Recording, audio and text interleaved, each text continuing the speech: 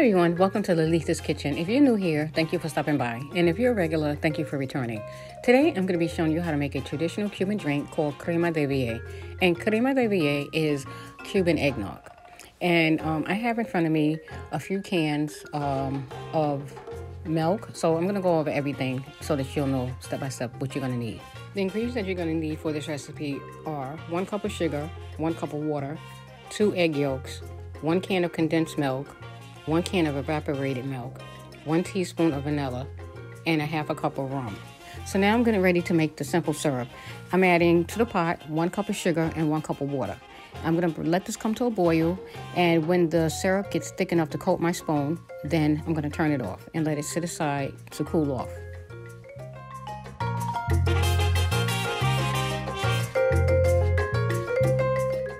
So you're going to stir this so that all the um, sugar granules can dissolve in the water.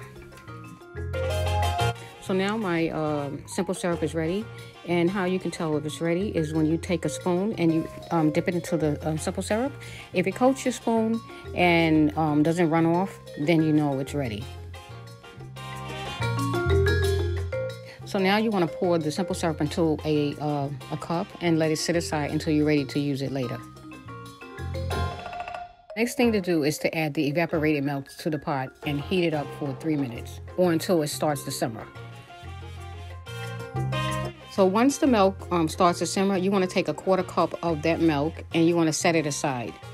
Um, and the reason why you're doing that is because you want to temper the eggs. Because if you add eggs directly into warm milk, it's going to scramble um, the eggs.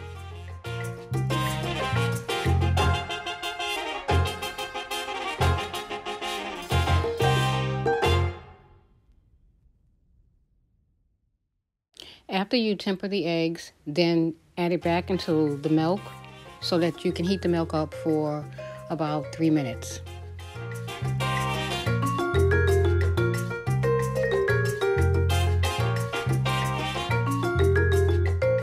Next, you want to strain the milk through a, a strainer or a sieve so that you can remove any of the um, egg yolk residual.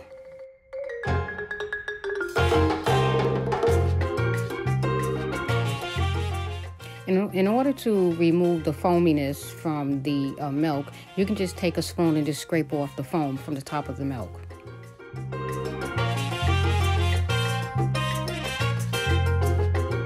Next step is to add your condensed milk to the blender.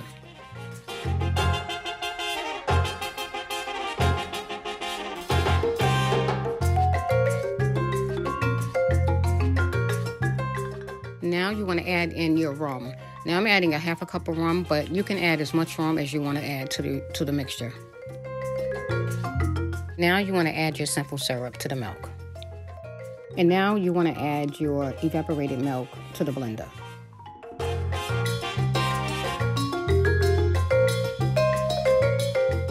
And now I'm going to add in one teaspoon of vanilla. And lastly, I'm going to add in a sprinkle of cinnamon powder. And now it's time to blend the milk together. And um, after you finish blending the milk, um, to get the best results, refrigerate the um, crema de vie for at least um, two hours um, before you drink it.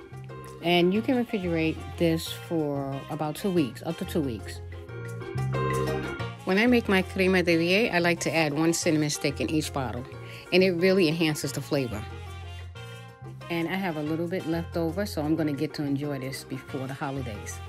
But anyway, I want to thank you guys for taking the time out to watch this video. Please stay tuned for more upcoming videos. And if you haven't subscribed, please hit the subscribe button below and the notification bell so you'll know when I'm uploading new videos.